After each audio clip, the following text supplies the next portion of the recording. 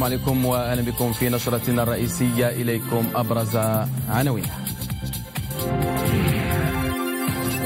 امتحانات البكالوريا تنطلق وسط إجراءات فرضتها جائحة كورونا، اليوم الدور على المترشحات والمترشحين الأحرار لاختبارات الدور العادية للامتحان الجهوي الموحد.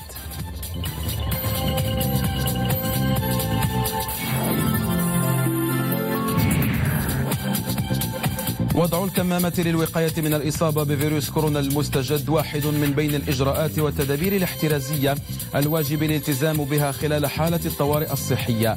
والسؤال المطروح هل يحترم الجميع هذا الإجراء؟ انطلاقة جديدة للقطاع السياحي بعد تخفيف الحجر الصحي والسياحة الداخلية. رهان المرحلة. تأكيد على التطبيق الصارم لكافة التدابير الصحية.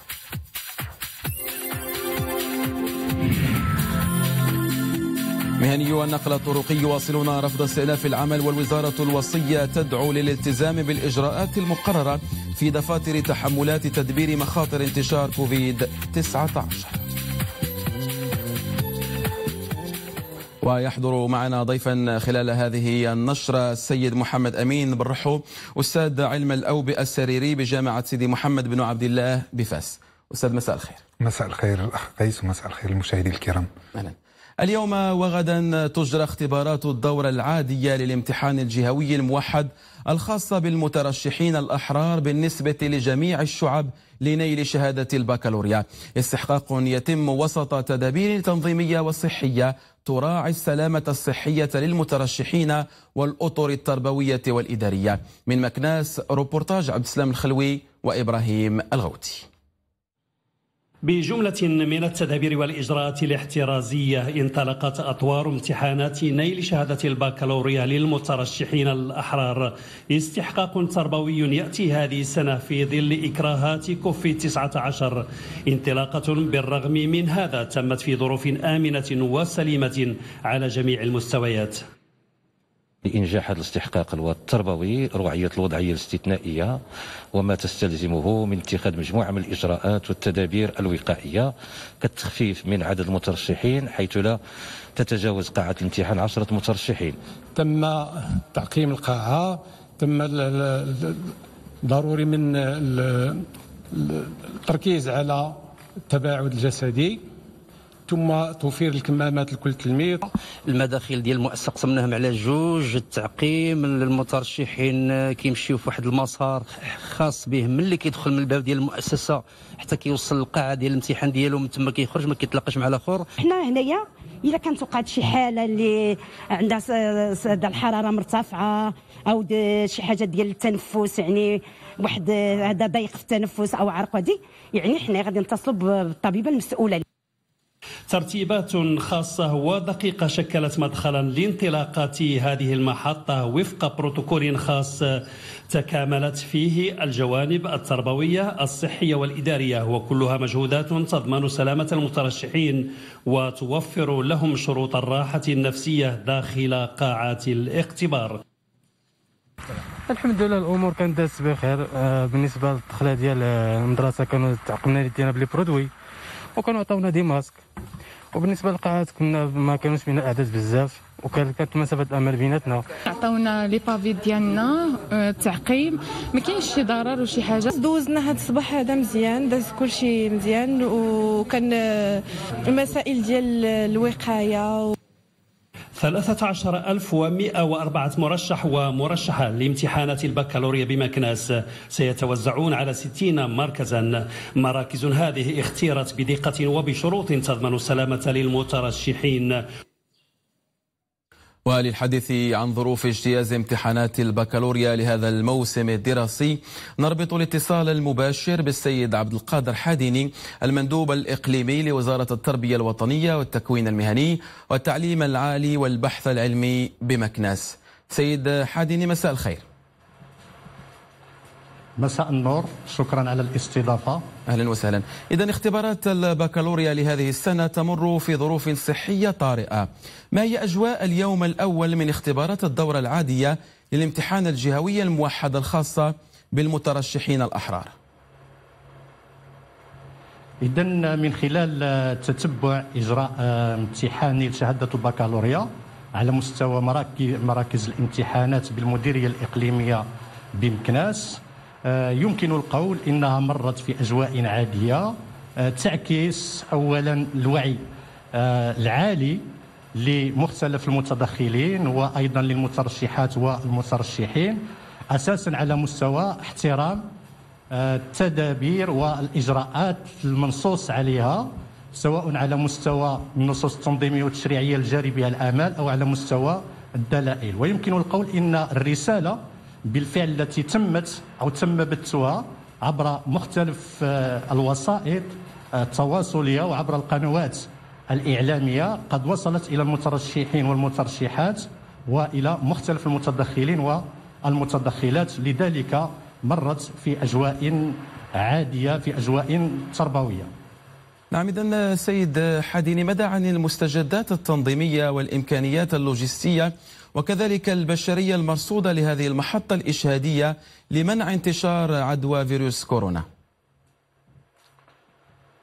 إذا هو حق لضمان يعني مصداقية وموثوقية شهادة شهادة امتحان البكالوريا اتخذت مجموعة من التدابير والإجراءات منها تدابير اعتيادية دابت المنظومة التربوية على الالتزام بها.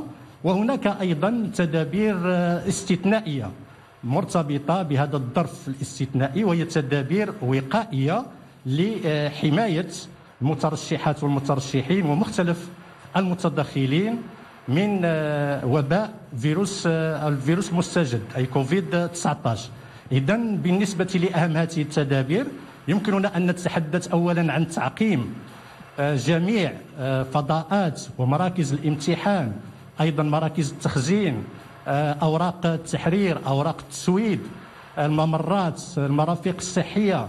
هناك أيضا توفير اللوازم الصحية لمختلف المتدخلين وللمترشحات والمترشحين من وضع الكمامة من مواد النظافة والتطهير من أيضا وضع حواجز وتشوير لتحقيق التباعد المكاني. أيضا هناك الرفع من آه، عدد مراكز الامتحان. بحيث مثلا على مستوى مديرية مكناس آه، انتقلنا من 46 مركز في الموسم الماضي إلى 60 مركز هذا الموسم وذلك لتقليص عدد المترشحات والمترشحين على مستوى القاعات الاعتيادية على الأكثر عشر مترشحات ومترشح ومترشحة. أيضا تم اعتماد فضاءات آه، واسعة منها المنشآت الرياضية كالقاعات المغطاة ومنها مدرجات كلية الآداب من المركز التربوي والجهوي.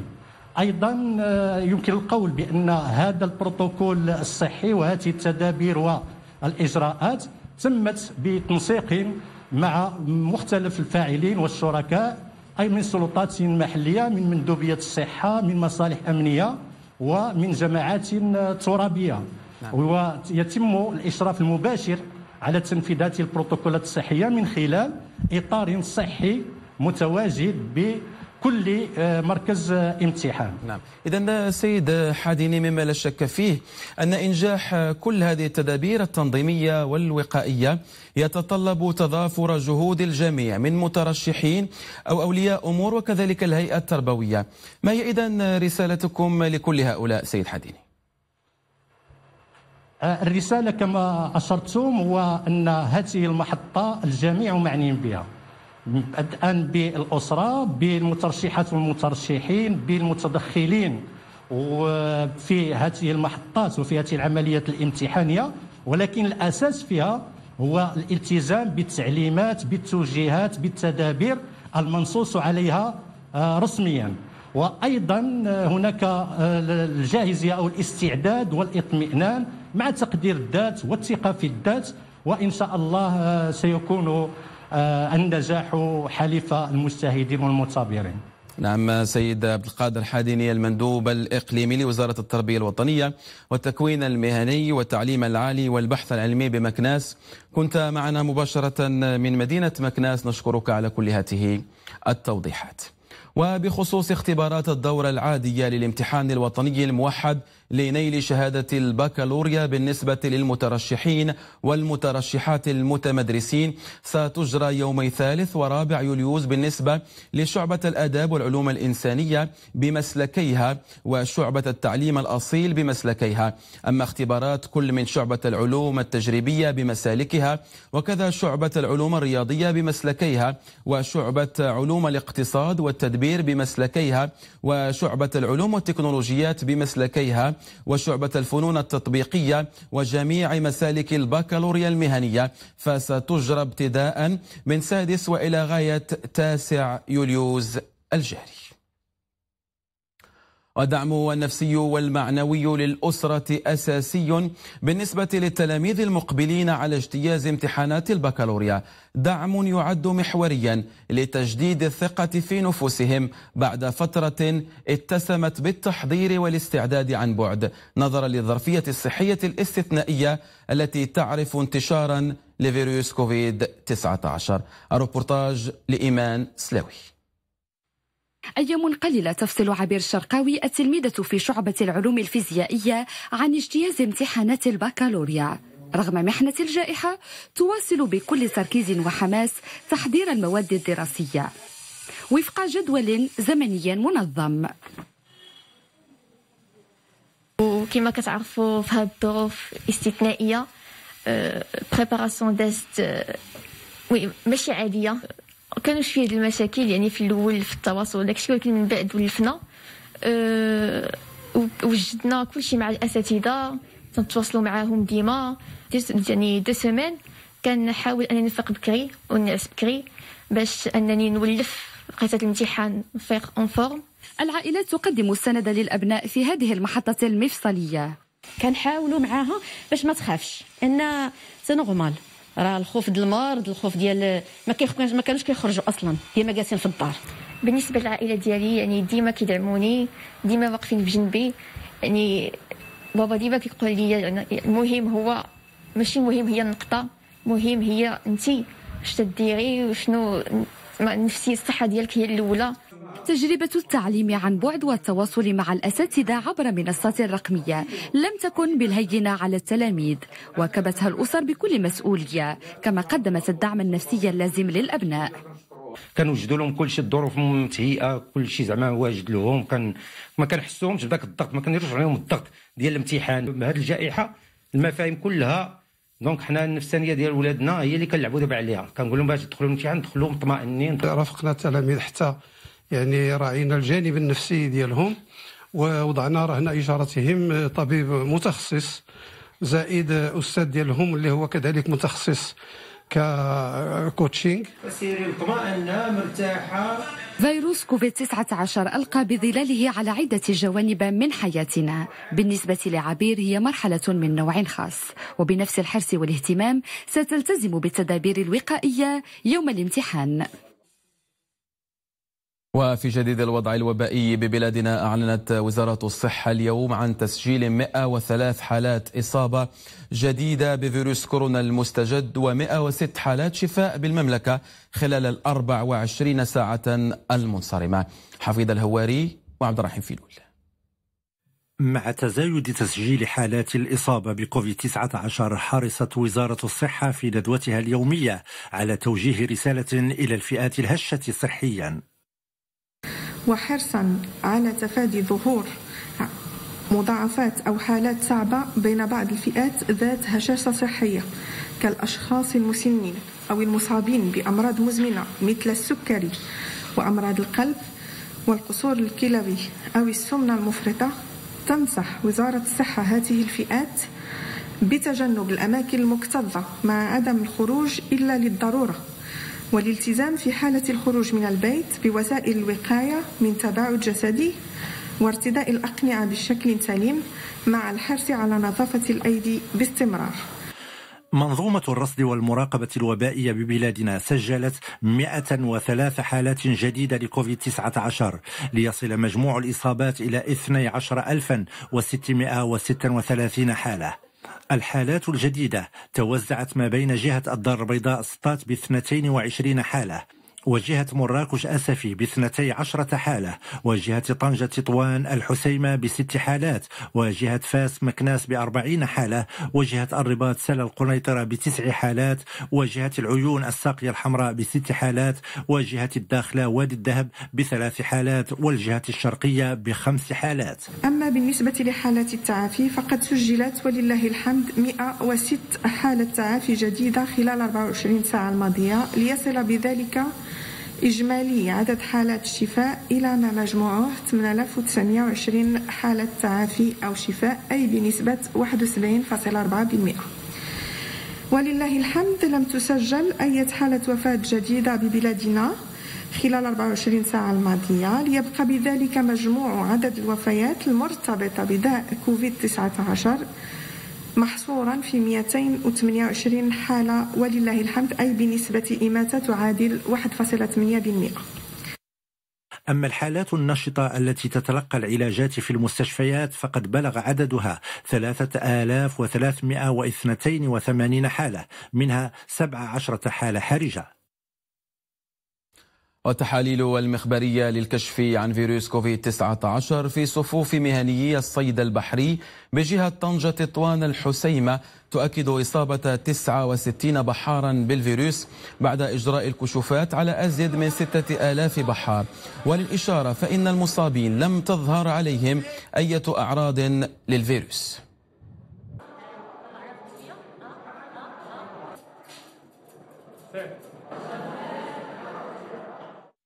وكما سبق وأشرنا يحضر معنا ضيفا خلال هذه النشرة السيد محمد أمين برحو أستاذ علم الأوبئة السريري بجامعة سيدي محمد بن عبد الله بفاس.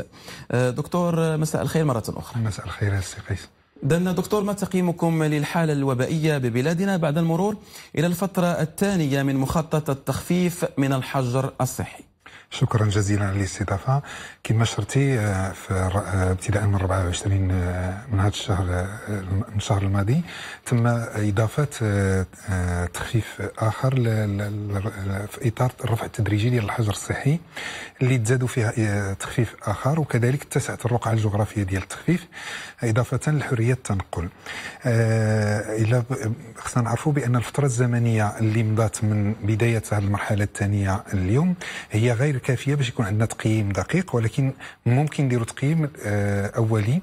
ونسبي للسرعه ديال التطور ديال الوباء من خلال الحالات. ولكن بالنسبة للخطورة ديال الحالات كتطلب وقت أكبر لأن المرض كيدوز من فترة ديال الإصابة بالمرض ولا قدر الله التطور ديال المضاعفات ولا قدر الله الوفاة. المؤشرات ديال الخطورة اللي هي الإماتة والحالات الحرجة اللي كتستدعي تدخل الإنعاش أو العناية المركزة. خص وقت باش عاد نقدر ندير لها تقييم بالنسبة للحالة الوبائية من خلال المؤشرات ديال الأعداد ديال الحالات اللي اللي اللي, اللي كتسجل يوميا كما لاحظتوا كاين ارتفاع مقارنة بفترة ما قبل ديال الحجر ولا الفترة الأولى ديال الرفع ديال الحجر. تماما. دونك هذا هذا الارتفاع ديال النسبة ديال الحالات كان عادي. بالنسبة جزئيا لأن ملي كتخفف الاجراءات ديال الحجر كتزاد الحركية ديال المجتمع كتزاد المخالطة نعم. وكتزاد الكثافة وبالتالي كيتزاد الاحتمالية ديال الإصابة بالنسبة للمؤشرات ديال الإماتة والخطورة لحد الساعة كما قلت الفترة غير كافية باش نديروا لها تقييم موضوعي ولكن المؤشرات الحمد لله لحد الساعة لم لم تشهد تطورا مازال في المستويات ديالها اللي كانت من قبل كيبقى واحد الإضافة هو أن كنشاهدوا بأن التركيز ديال الحالات كتسجل في المناطق اللي كانت حتى من قبل من البداية ديال الرفع ديال الحجر اللي كانت معنية بالوباء مع بالإضافة لعودة الوباء أو ظهور الوباء في مناطق اللي كانت نعم. من قبل ما تسجلش فيها حالات وكاين مؤشر اللي خصنا ناخذه بعين الاعتبار هو ديال كيفاش كنلقاو هذه الحالات وهذا كذلك معطى مهم واش كنلقاوها بالبرنامج ديال الرصد المبكر ولا نعم. ولا بالبرنامج ديال ديال الرصد والتتبع العادي إذا في نفس السياق بروفيسور. شنو الفرق يعني بين الحالات التي يتم تشخيصها انطلاقا من برنامج الرصد والتتبع المعتمد منذ بداية انتشار الوباء والحالات التي يتم اكتشافها عبر برنامج الكشف المبكر الذي تم توسيعه؟ هذا سؤال مهم لأن كيوقع خلط كبير بين بين هاد النظامين خصنا نعرفوا بأن المغرب في الفترة ديال الحجر كان معتمد على واحد النظام ديال الرصد والتتبع اللي اللي اللي ال- ال- ال- ال- الكيفية ديال العمل ديالو كتظهر حالة عليها أعراض كيتم التشخيص ديالها كتم البحث حول المخالطين في المحيط ديال ديال الفرد اللي عندهم احتمالية ديال ديال الانتشار ديال العدوى. وكيتم إجراء ال- ال- التحاليل والعزل ديالهم والإجراء ديال التحاليل باش نتأكدوا واش مصابين ولا غير آه، مصابين. هذا البرنامج الكلاسيكي ديال الرصد التت- التتبع تم التعزيز ديال هذا البرنامج اللي كان كما قلت من الأول ديال ديال ظهور الوباء تم التعزيز ديالو آه، بنظام ديال الكشف المبكر اللي هو le dépistage آه، آه، شكون هو هذا le dépistage هذا البرنامج ديال الكشف ال- المبكر. هو واحد النظام كتمشي مثلا لواحد القطاع معين وكتقلب على الحالات ولو ما كاينش أعراض. كدوز مثلا ال- ال- المشتغلين في واحد ال- ال- ال- مقاولة. المقاولة إلى غير ذلك كدوزهم كاملين ولو ما كاينش عندك حالة ديال الأعراض وهذا الشيء ندار لمواكبة والتهيئة ديال الرفع التدريجي والآمن ديال الحجر الصحي وهذا كيفسر شيئين. المعطى الأول هو الارتفاع ديال العدد ديال الحالات والمعطى الثاني هو أن الأغلبية ديال الحالات اللي كنلقاوها ما عندهاش أعراض لأن آه، آه، مكنا من أن الكشف عليها انطلاقا من النظام الثاني اللي هو الكشف آه، آه، المبكر اللي هو le dépistage. نعم. إذا قبل أن نواصل بروفيسور برحو فإن المرحلة الثانية من مخطط تخفيف الحجر الصحي تستدعي التقيد بمجموعة من الإجراءات والتدابير الاحترازية للوقاية من انتشار الفيروس. من بينها وضع الكمامة الواقية حفاظا على سلامة الجميع. وحول شروط وطرق استعمالها نتابع هذا الروبورتاج الذي أنجزه خالد أزدون. فيروس كورونا ما زال يتجول بيننا. واقع اقتنع به البعض وذهب ليتسلح بطرق الوقاية منه. كهذه السيدة التي جاءت لتسأل عن أهمية وطريقة ارتداء الكمامة. جدا ولازم باش باش باش يتركب على الأنف. يتركب على الأنف. يعني الكمامة أصبحت في الوقت الحالي ضرورة ملحة في كل الأحوال. تشي دور الكمامة في حاله أنك ترتديها بهذه الطريقة ولا كترتديها بهذه الطريقة. لأن الكمامة خصها تكون كترتدى بهذه الطريقة يعني أنها كتغطي الأنف وكتغطي الفم الفم وتكون وتكون آه، اليدين معقبة قبل وتعقم من بعد. فهذه هي الطريقة لاستعمال الكمامة وكذلك المدة ديال الاستعمال ديالها فهي أربع ساعات فقط. لذلك يجب تغييرها بصفة منتظمة. الانسان خصو يدير الاحتياط ديالو باش يبقى في صحة جيدة ويحترم حتى الآخرين. لأن الصحة راه الجميع ماشي غير كفرد. خصو خصو يحترم راسو ويحترم الناس اللي معاه. في زمن التزم فيه حتى الترامواي بارتداء الكمامة. للأسف ما زال البعض لا يحترم هذا المعيار الصحي المهم. إما عن قصد أحيانا أو سهو وجهل بأهميتها أحيانا أخرى. الكمامه ضروريه حاج وانت في راسك بأن دابا الكمامة راه انت ما ديرهاش على النيف ديالك خصك ديرها على النيف ديالك. هذا باش باش باش تحبسها. يعني أنا حتى أنا راه فيها حتى أنا راه فيها الحق حقي حتى أنا راه كنغلط بعض المرات. لأن كتضايقني شويش. لهذا كنبغيش نتنفس من النيف ديالي. ولكن لقيت فيها الراحة ولقيتها مناسبة. لهذا الناس آه، خاص كل شيء يلزم بها وبالخصوص هذه الفترة هذه وغادي نسولك علاش آه، شنو الأهمية ديال ال bavette وبالنسبة لك انت بالنسبة لشي واحد اللي ما دايرهاش شنو الخطورة اللي تقدر تشكل عليه؟ اللي ما دايرهاش. آه. دابا ال bavette اللي ما دايرهاش المشكل اللي يقدر يوقع عليه اذا كان كي fréquenter عباد الله بزاف. بالنسبة لنا آه، أنا في ال domaine ديالي آه، غالبا ما كنكونش حدا البشر. ولكن ديما كتكون عندي ديما كتكون عندي. كون بغيت نهضر مع شي حد ضروري كنستعملها. قلبها. قلبها. عارف خصك دير هذا الحديد هذا آه الحديد آه ما رديتش البال ضروري من هي normalement هي اللي كت آه، وقاية هي اللي آه، على ضروري إيج- آه، إيجابية. أنا.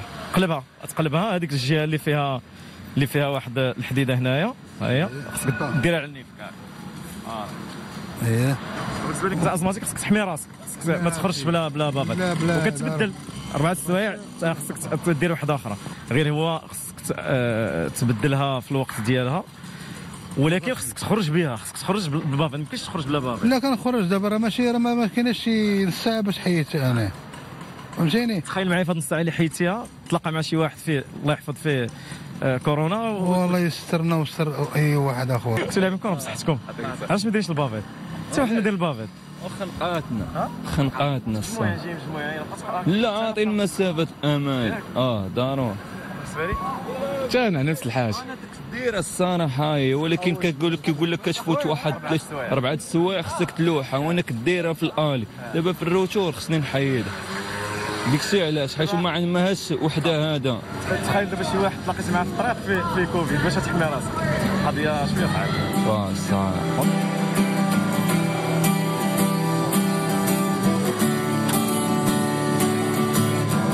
حركة بسيطة تساوي الشيء الكثير في هذا الظرف. كل من لقيناهم اعترفوا بالخطأ ووعدونا بالالتزام بالأمر خلال ما هو قادم في محاربة هذا الوباء. عادت الحياة من جديد بعد توقف أرهقنا جميعا. فاليوم نعود سويا ونتمنى أن يبقى الأمر كذلك غدا.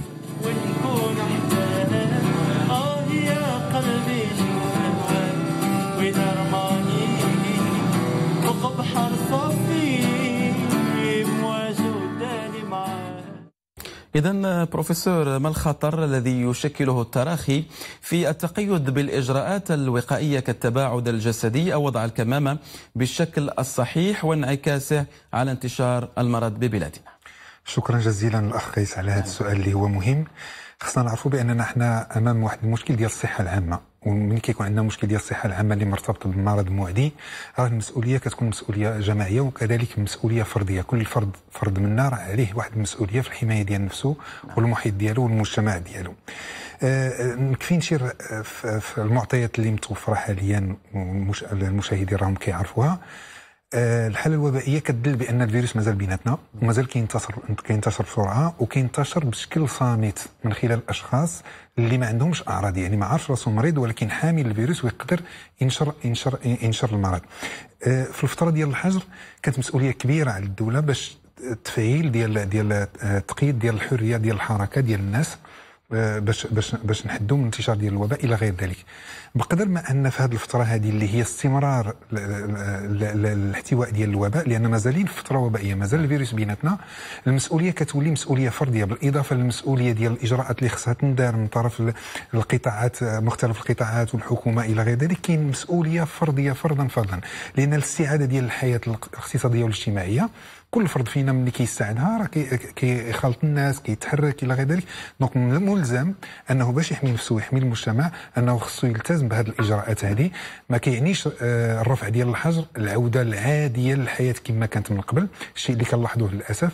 mais كيعني نرجعوا للحياة ولكن بحذر الحياة الاقتصاديه والاجتماعية. نستردوها باكبر قدر ممكن ولكن وحنا ملتزمين بهذه الإجراءات الفردية باش نحميو نفوسنا ونحميو ال- ال- العائلات ديالنا كما شرت والمجتمع ديالنا. نعم اذا بروفيسور كما كنعرفوا يعني مجموعة من الجهود الدولية تبذل لتطوير لقاح ضد فيروس كورونا المستجد. هل تم تسجيل الاستجابة المناعية المرجوة بعد التجارب السريرية التي تم القيام بها؟ أه لحد ل- خصنا نعرفوا بأن التطوير ديال اللقاح هو كيطلب وقت. المشكلة ماشي ماشي تقنية فقط ولا كيطلب وقت نعم. لأن كاين مراحل اللي خصها تندار بواحد الطريقة معينة واحد المنهجية علمية معينة اللي خص نلتزموا بها باش نقدروا نطوروا اللقاح. من البداية ديال هذا الوباء هذا آه، التوقعات أن حتى لاخر هذه السنة ولا بداية سنة 2021 عاد ممكن يكون عندنا المعطيات على على على اللقاح واش فعال ولا ماشي فعال وكيبقى واحد السؤال. راه التطوير ديال اللقاح ما كيعنيش بالضرورة أنه فعال كيبقى عاد التجربة ديالو على نطاق واسع باش نتمكنوا من المعرفة ديال الفعالية ديالو. هذا إلا ما كانش لا قدر الله تطور ديال الوباء في المنحى ديال ديال الطفرة ولا إلى غير ذلك. من المبكر أننا نعتمدوا على هذا المعطى حاليا اللي بيدينا كآليات المقاومة ديال هذا المرض معروفة. كاين استراتيجية دايرها الدولة ودايرينها القطاعات في التنزيل ديالها ولكن كاين بجانبها باش ننجحوا هذه الفترة ديال الرفع ديال الحجر بشكل آمن. كاين بجانبها وبالموازات ديالها الالتزامات ديالنا الالتزام ديالنا كجماعات وكأفراد بالإجراءات الاحترازية وال- وال- والنظافة إلى غير ذلك. نعم بروفيسور محمد أمين برحو أستاذ علم الأوبئة السريري بجامعة سيدي محمد بن عبد الله بفاس نشكرك على كل هذه التوضيحات. مرحبا. ومع ارتفاع درجات الحرارة بعدد من مناطق المملكة تصبح الشواطئ الملاذ المفضلة للراغبين في الاستجمام. متعة اقترنت في ظل هذه الظروف الاستثنائية بضرورة الالتزام بعدد من الإجراءات الاحترازية على الشاطئ. روبورتاج من هرهورة لعماد أمسمير والعربي النيري بدأت الحياة تعود من جديد للعديد من الوجهات السياحية كالشواطئ بعد شهور من التباعد الاجتماعي والمكوث في المنازل والتزام العائلات بإجراءات الوقاية من عدوى فيروس كورونا. لكن السؤال المطروح بالنسبة للعائلات المرتادة للشواطئ ما هي أهم الإجراءات المتخذة لضمان سلامتهم وأبنائهم في الشاطئ؟ سؤال طرحناه على مرتادي شاطئ الهرهورة. في نظرك الناس ملتزمين بالاجراءات الاحترازيه؟ أه وين الناس ملتزمين بالإجراءات الاحترازيه كنلاحظوا أن الناس محافظين على المسافة ما بين الناس ما بيناتهم كلشي داير الكمامات ديالو. donc الناس واعية بخطوره الأمر وكل واحد محافظ على الأمان ديالو. تأخذ المسافة تدير الكمامة ديالك وملي تبغي تجي la plage خصك تأخذ la distance entre انت واللي في جنبك ديال 1 متر ولا 1 متر 50 ملي تبغي تعوم عاوتاني la même chose تبعد عليه à part ملي تبغي تخرج عاوتاني تحتفظ بالكمامة ديالك. ممارسة الرياضة السباحة صورة تحيلك على أيام الصيف العادية. كل ما تغير خلال هذا الصيف هو ارتداء الكمامة والحفاظ على التباعد الجسدي للجمع بين الاستمتاع بأشعة الشمس ومياه البحر والحفاظ على الصحة والسلامة الجسدية. في الصباح جينا للبحر بحال هكا جبنا الكمامات ديالنا هذا احترمنا مسافة الأمان التباعد الاجتماعي وجينا نتبحروا مع روسنا. فرحة الأطفال لا توصف بعد ملامسة رمال الشاطئ وبعد ثلاثة أشهر من الحجر الصحي. عودة الحياة إلى طبيعتها لم تمنع هؤلاء الأطفال من الالتزام بوضع الكمامة. اليوم جيت البحر وأنا فرحان بزاف بزاف. دايرة كمامة حيت كاينة فيروس كورونا تيسرحوا لينا في التلفازة ما نحيدوش كمامة. علاش دايرة الكمامة؟ لحقت أنا باغا ندير الكمامة لحقت خاصنا نديروها لحقت كاينة كورونا وخاصنا نديروا الواجبات ديالنا ونحترموا الواجبات ديالنا ليس كل مرتادي الشاطئ يحرصون على تطبيق الإجراءات الاحترازية. لذلك تعمل السلطات المحلية وفعاليات المجتمع المدني على تحفيزهم على ارتداء الكمامات وتخصيص مسافة لا تقل عن ثلاثة أمتار بين كل مظلة وأخرى.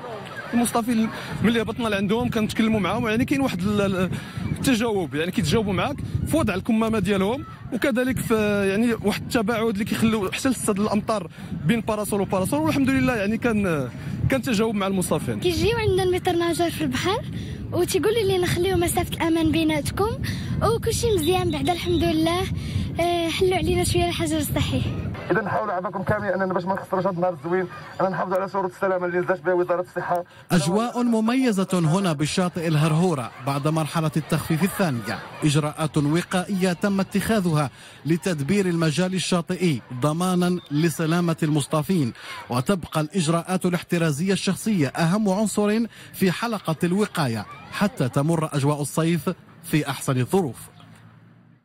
والطقس الحار متواصل ببلادنا إلى غاية السبت المقبل.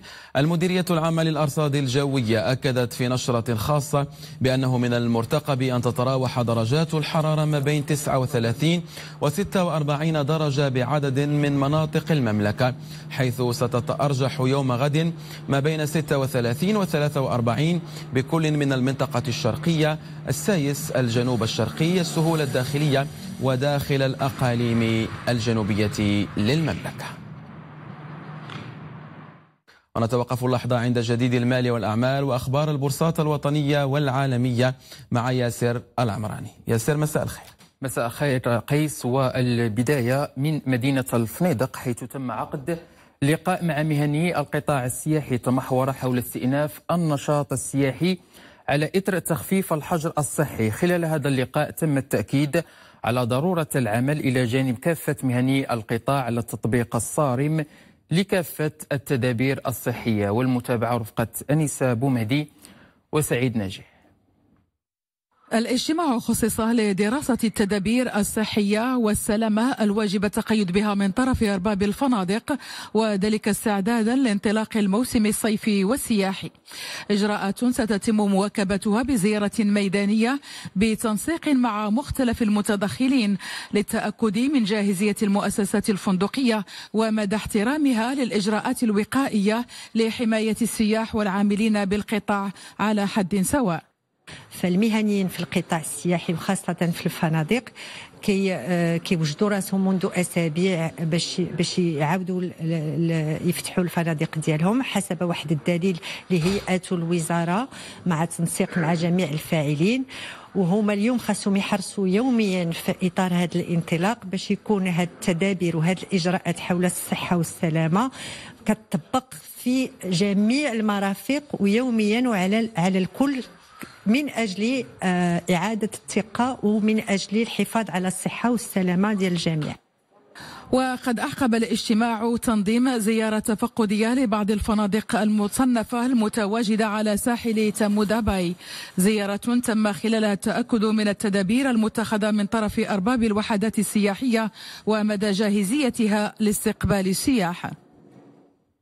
بإجراءات وتدابير وقائية تستعد مدينة الصويرة لاستقبال زوارها. المدينة تشكل نقطة جذب سياحي خاصة وأن مدينتها العتيقة تم إدراجها ضمن قائمة التراث العالمي لليونسكو. والروبورتاج لحسن الطباعي وعبد الغني الطهراوي.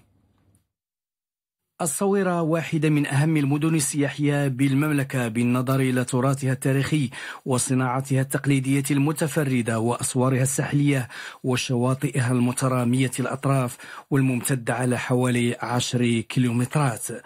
مؤهلات كهذه بالإضافة إلى ما تزخر به المدينة القديمة من معالم حضارية جعلتها تلقى الإقبال المتزايد من طرف الزوار عبر العالم وعلى امتداد السنة.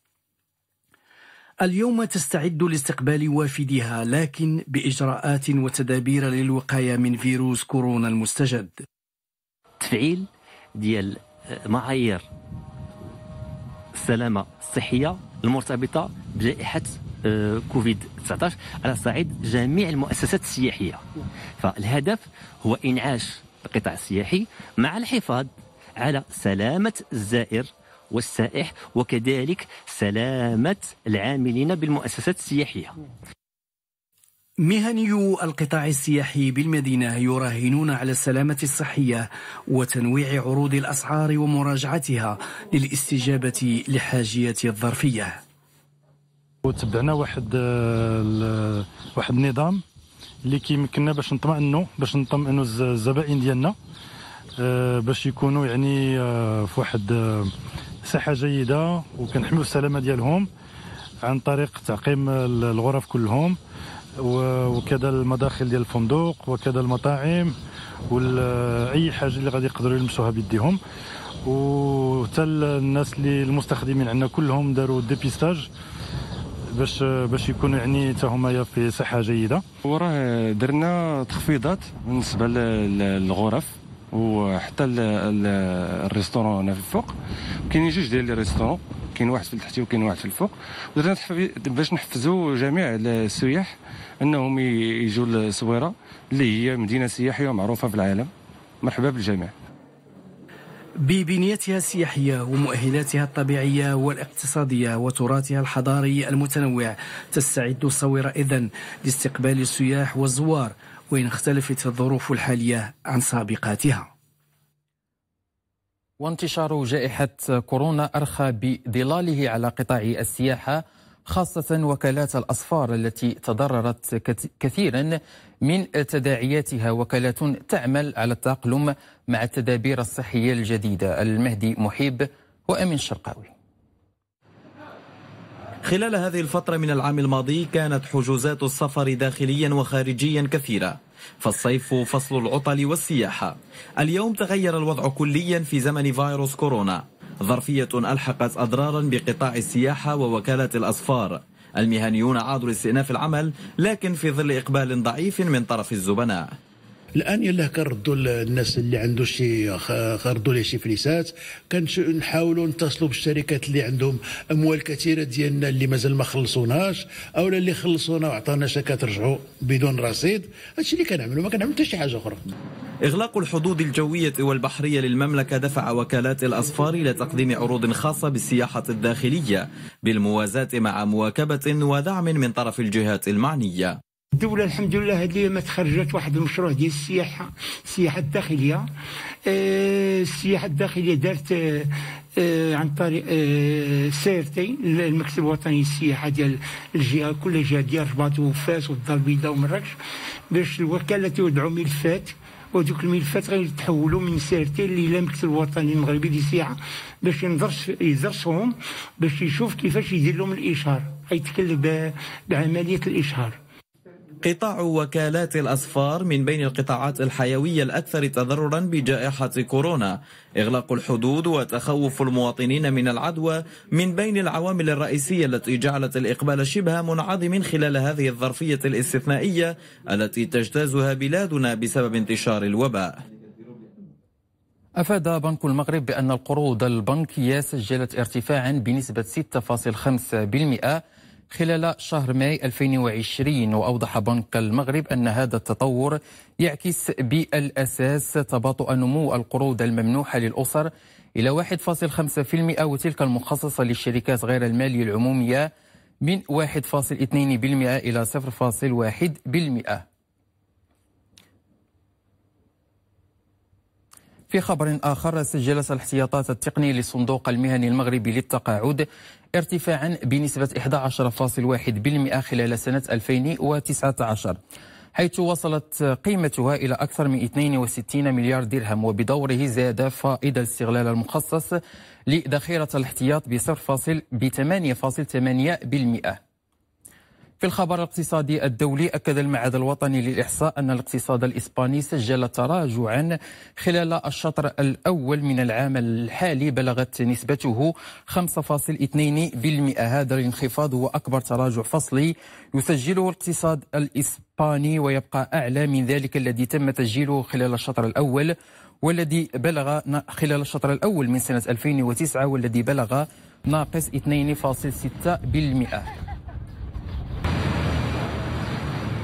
أغلقت الأسهم اليابانية منخفضة بعدما أظهر مسح فصلي للشركات. أجراه بنك اليابان المركزي. تراجع ثقة الشركات لأقل مستوى في 11 عاما بينما قاد استمرار انتشار حالات كوفيد 19 في طوكيو إلى عزوف عن المخاطرة. وهكذا أغلق المؤشر الياباني نايكي منخفضا ب 0.75%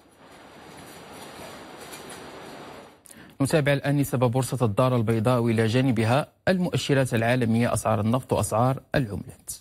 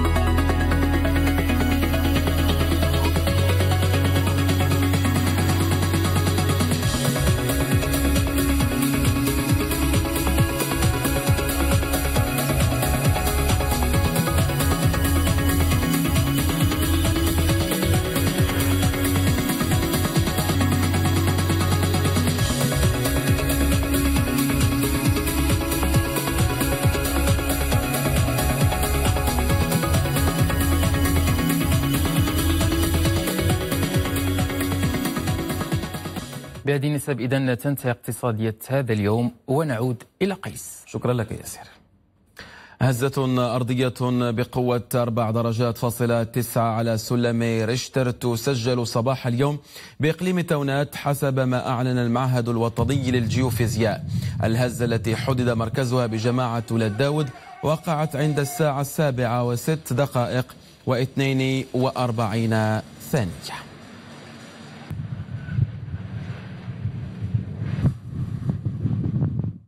وجهتنا الآن مدينة الدار البيضاء التي تعيش جدلا واسعا بعد أن عمد عدد من أصحاب سيارات الأجرة من الصنف الأول إلى الرفع من سعر الرحلات سواء داخل المجال الحضري أو خارجه.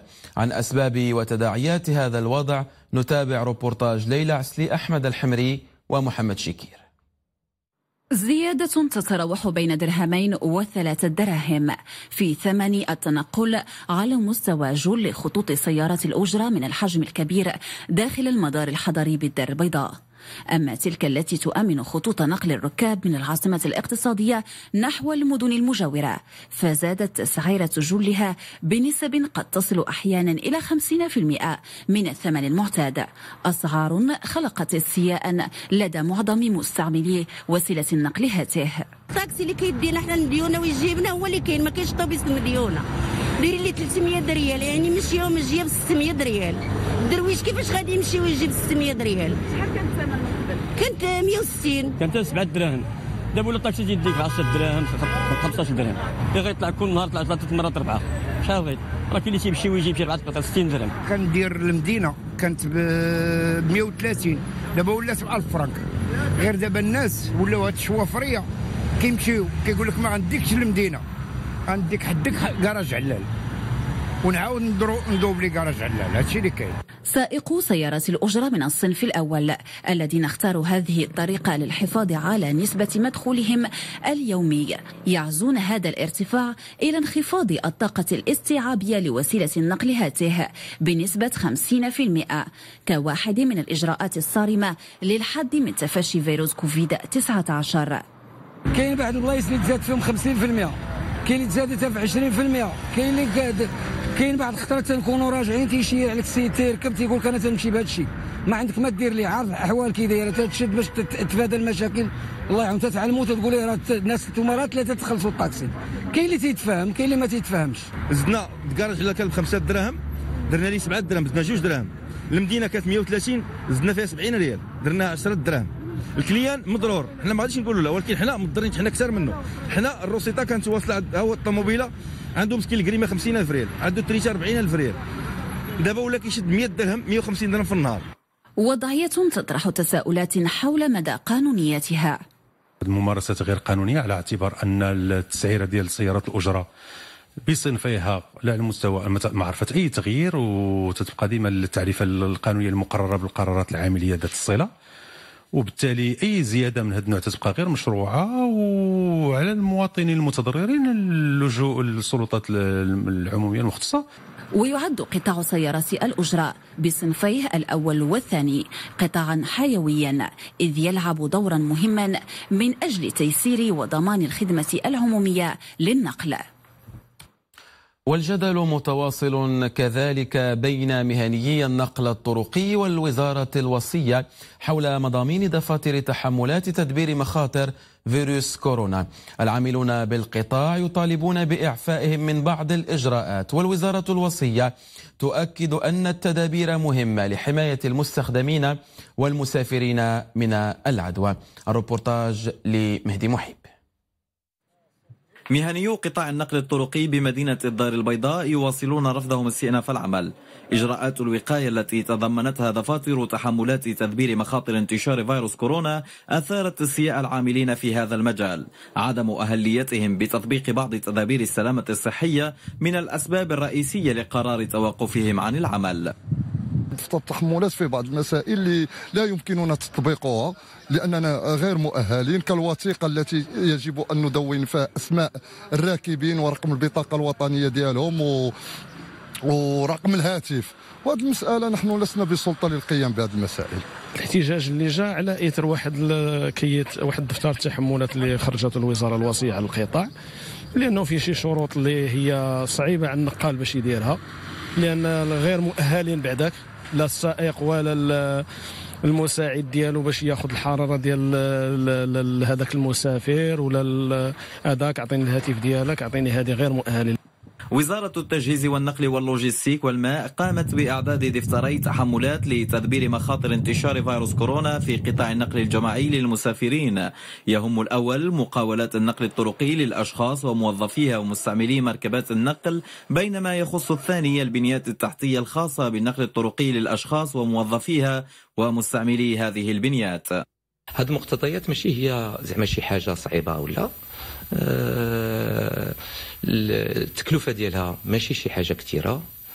آه نظن آه دابا الكمامة كتسوى 0.80 سنتيم. المعقم يمكن تعطي لواحد درهم كمية ديال بثمن درهم. اذا يعني السفر كله إلى قصد الحال. يمكن له يمكن ينقام بواحد 50 درهم إلى حسبنا جوج دراهم لكل مسافر. في الوقت الذي يصر فيه مهنيو النقل الطرقي في العاصمة الاقتصادية بإشراكهم في صياغة دفاتر تحملات تدبير هذه الظرفية الاستثنائية تؤكد الوزارة الوصية أنها حرصت على أخذ مقترحات التمثيليات المهنية بعين الاعتبار مشيرة إلى أن المقتضيات المتعلقة بنسبة ملء الحافلات على وجه الخصوص ستعرف ارتفاعا بعد تحسن الحالة الوبائية لفيروس كورونا في بلادنا. نبقى بمدينة الدار البيضاء والتي تعززت بنيتها التحتية بافتتاح مرآب عمومي جديد بمعايير حديثة. بنية من المنتظر أن تساهم في حل إشكالية ركن السيارات وسط العاصمة الاقتصادية التي تعرف اكتظاظا ملحوظا طيلة أيام الأسبوع.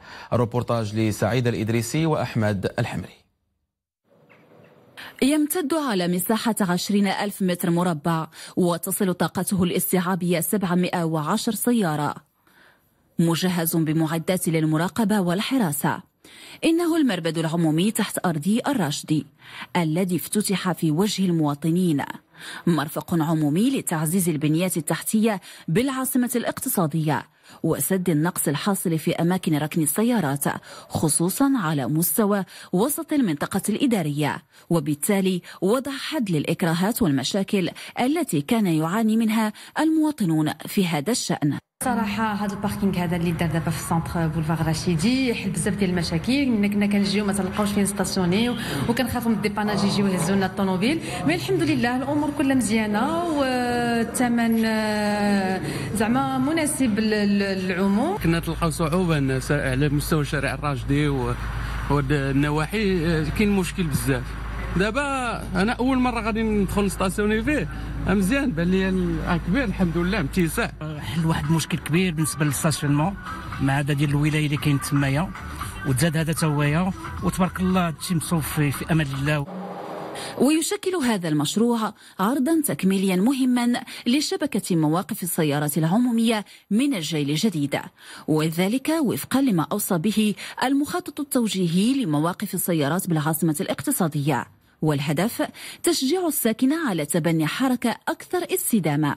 وهذا المربط هذا كما قلت يدخل في واحد الخطة ديال واحد آه، المشروع ديال الإعداد ديال مجموعة من المرابيد آه، العمومية واللي فيها مرابيد فوق يعني في الأرض ومرابيد تحت الأرض. وهذه المرابيد تحت الأرض فمن بعد هاد جوج ديال المشاريع إن شاء الله غادي تكون واحد الشراكة ما بين القطاع الخاص والقطاع العام اللي غادي يمكن لنا أننا ننجزوا واحد ستة ديال المرابيد آه، عمومية مع القطاع الخاص إن شاء الله اللي غادي يمكن لها أنها تخفف من من الطلب يعني وتستجب للطلب ديال المواطنين. استثمار يناهز 40 مليون درهم. إنجاز يشمل إضافة جديدة للحد من إشكالية قلة المرابد العمومية ومشاكل ركن السيارات خصوصا على مستوى المراكز الإدارية والخدماتية. بمطار مراكش المنار الدولي تواصلت اليوم عملية إعادة المغاربة العاقل العالقين في الخارج عقب إغلاق الحدود الجوية والأرضية والبحرية بسبب جائحة كوفيد 19 حيث حلت مجموعة جديدة تضم 304 أشخاص قادمين من تركيا. أمين علام وحسن مسكور بمطار مراكش المنارة وصلت مساء أمس طائرتان تابعتان للخطوط الجوية الملكية المغربية قادمتان من مطار إسطنبول بتركيا وعلى متنهما. أزيد من 300 من المغاربة الذين اضطرهم ظهور جائحة فيروس كورونا مع ما أعقبه من توقيف للرحلات الجوية للبقاء خارج الوطن لمدة تزيد عن ثلاثة أشهر. العودة إلى الوطن تحمل أكثر من معنى بالنسبة لهؤلاء والفرحة كبيرة للالتحاق بالأهل. اليوم ما حسيت بلي أنا وليت لبلادي كنت غادي نموت تما ديتش مشينا واحد 15 يوم وقعدنا غير يومين السياحه نعم قعدنا يومين و... وتوقعوا المطارات غادي يديروا لنا داك التحليلات نتاع كورونا وغادي نبقاو هنا يمكن تسع أيام ومن بعد عاد نرجعوا للمدينه ديالنا الحمد لله وصلنا معافيين الحمد لله وصلنا مزيان للمغرب وأنا فرحان بزاف صراحة كوس دابا علينا ربع شهور. والحمد لله كنشكر السلطات المغربية صراحة قامت بالواجب. إجراءات وقائية وتدابير احترازية مهمة تشرف عليها أطقم بشرية من مطار مراكش المنارة والمديرية الجهوية للصحة والسلطات العمومية لضمان عبور آمن للعائدين من قبيل قياس الحرارة والتعقيب والخضوع لفترة الحجر الصحي. عشنا واحد الظروف قاسيه زعما في تركيا. يعني لو كان مكان جلالة الملك يعني اللي وقف معنا بالاوتيلات والاخر كنا غادي نعيشوا واحد الظروف قاسيه أنا من الناس اللي كانوا حاصلين في تركيا. آه صراحة الله هادشي اللي دار معنا صاحب الجلالة غادي تكتب ليه في التاريخ ديالو. واحد الاهتمام اللي بزاف ديال الجاليات اللي كانوا حاصلين تمايا في تركيا بلا ما نذكر الأسماء ديالهم اللي غاروا منا. أزيد من 13 رحلة استقبلها مطار مراكش المنارة نقلت لحد الآن حوالي 2000 من المغاربة الذين كانوا عالقين بكل من فرنسا هولندا ألمانيا تركيا السنغال والكوت ديفوار. في موضوع آخر وبالرباط لقاء تضامني بالسفارة الفلسطينية جاء للتنديد بالمخطط الإسرائيلي لضم أجزاء واسعة من الضفة الغربية المحتلة والدفاع عن حقوق المشروعة للشعب الفلسطيني. رشيد إيكن وعبد العلي أياد. اللقاء التضامني الذي احتضنه مقر سفارة دولة فلسطين بالرباط هو تأكيد آخر للموقف المبدئي للمغرب من القضية الفلسطينية. اللقاء تم التنديد فيه بخطة الضم التي تكرس الاحتلال وتجهز على التطلعات السلمية الفلسطينية العربية والعالمية. يجب أن نبقى يقظين ونحتاج إلى الدعم السياسي والموقف الواضح من جميع الدول التي تحترم القانون الدولي.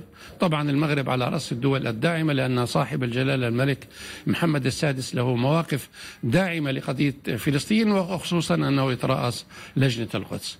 أوكد الشعب المغربي من خلال قواه الحية. في كل المناسبات ومن خلال كل المواقف والدعم الذي عبر عنه لا يمكن اليوم كما عبرت الخارجية المغربية وكما عبرت الدولة المغربية لا يمكن اليوم إلا أن نكون مع إخواننا الفلسطينيين. اللقاء تم التحذير فيه من خطة الضم وتبعاتها السلبية على المنطقة كونها تشكل تقويضا وهدما لحل الدولتين بما يحول الشعب الفلسطيني إلى شعب أسير تحت الاحتلال الإسرائيلي وفاقد لحقه في دولته الوطنية المستقلة وعاصمتها القدس. وبالأراضي الفلسطينية تظاهر آلاف الفلسطينيين اليوم في قطاع غزة ضد المخطط الإسرائيلي لضم أجزاء واسعة من الضفة الغربية المحتلة. مشروع مثير للجدل يلقى معارضة دولية واسعة. عبدهاب الكعرطي شهد قطاع غزة مظاهرات لآلاف الفلسطينيين ضد مخطط الضم الإسرائيلي لأجزاء من الضفة الغربية المحتلة. وهي الخطوة التي سبق لإسرائيل أن أعلنت نيتها البدء في تنفيذها اعتبارا من الأول من يوليوز. وتشمل ضم المستوطنات الإسرائيلية ومنطقة غور الأردن الاستراتيجية في الضفة الغربية. ولا واحد يعني بيسمح بهذا القرار. لازم إسرائيل هي تتنازل عن هذا القرار.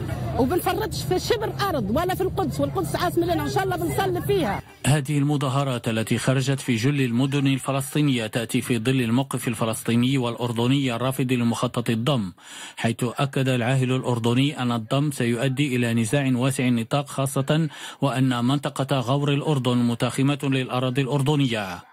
وبعد رفض الأمم المتحدة لمخطط الضم الدول الأوروبية هددت بفرض عقوبات في حال أقدمت إسرائيل على خطوة أحادية الجانب. كما صرح وزير الخارجية الفرنسي بأن ذلك سيكون انتهاكا للقانون الدولي وستكون له عواقب. هذه الخطوة ستكون لها انعكاسات سلبية على المفاوضات المباشرة بين الفلسطينيين والإسرائيليين وستكون لها انعكاسات على الاستقرار في المنطقة. وأمام الضغوطات الأممية والدولية ألمح رئيس الوزراء الإسرائيلي بنيامين نتنياهو إلى إمكانية تأجيل تنفيذ خطة الضم لأجزاء من الضفة الغربية. وسط أزمة كورونا مجلس الأمن الدولي يتبنى اليوم بالإجماع قرارا يطالب بوقف النزاعات في العالم لتسهيل عملية مكافحة فيروس كورونا المستجد بعد أكثر من ثلاثة أشهر من المفاوضات الحثيثة. المزيد في ورقة نبيلة أزرقان. في خضم الجهود الدولية لمكافحة وباء كوفيد-19 مجلس الأمن الدولي يتبنى قرارا يطالب بوقف النزاعات في العالم لتسهيل عملية مكافحة فيروس كورونا المستجد عقب أكثر من ثلاثة أشهر على مفاوضات حثيثة. القرار يطالب بوقف فوري لكافة النزاعات المدرجة في مجلس الأمن وبهدنة إنسانية لتسعين يوما على الأقل لتسهيل تقديم المساعدة للشعوب. وفي غياب لقاح مؤكد مضاد لفيروس كورونا رغم إعلان دول مثل الصين عن بعض الاختبارات المبشرة حذرت منظمة الصحة العالمية من أنه أكثر من عشرة ملايين إصابة في العالم فإن الوباء أبعد ما يكون من نهايته. المنظمة أعلنت أن عدد الأشخاص الذين يصابون يوميا بالفيروس يتجاوز المئة وستين ألفا وذلك منذ أسبوع ستون في المئة من مجمل الإصابات التي أحصيت حتى الآن جرى إعلانها خلال الشهر الماضي. وقد عاد وباء كوفيد-19 بقوة في دول عديدة مع تصاعد أعداد الوفيات والإصابات وسط تحذيرات من موجة ثانية. وبالولايات المتحدة يخشى ارتفاع حصيلة الإصابات بالفيروس على أراضيها إلى 100 ألف يوميا فيما تتعالى التحذيرات من احتمال زيادة عدد الوفيات في أمريكا اللاتينية أربعة أضعاف بحلول أكتوبر المقبل في غياب تعزيز للتدابير الصحية دائما في الخبر الدولي أعلنت المستشارة الألمانية أنجيلا ميركل اليوم أن على الاتحاد الأوروبي الاستعداد لإمكانية فشل المباحثات مع بريطانيا بشأن التوصل لاتفاق حول علاقاتهم المستقبلية. وقالت ميركل أمام البرلمان الألماني بأنها ستستمر في الضغط من أجل حل جيد ولكن يجب على الاتحاد الأوروبي وألمانيا أيضا أن يستعدا لحالة عدم التوصل إلى اتفاق. وصلنا إلى نهاية نشرتنا. تذكير بأبرز ما جاء فيها. امتحانات البكالوريا تنطلق وسط إجراءات فرضتها جائحة كورونا. اليوم الدور على المترشحات والمترشحين الأحرار لاختبارات الدورة العادية للامتحان الجهوي الموحد.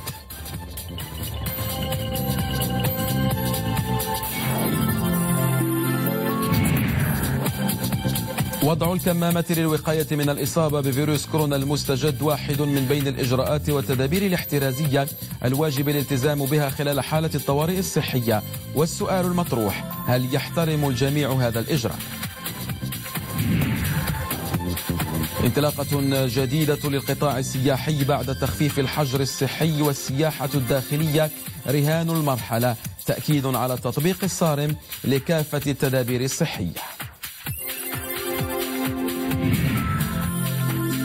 مهنيو النقل الطرقي يواصلون رفض استئناف العمل والوزارة الوصية تدعو للالتزام بالإجراءات المقررة في دفاتر تحملات تدبير مخاطر انتشار كوفيد 19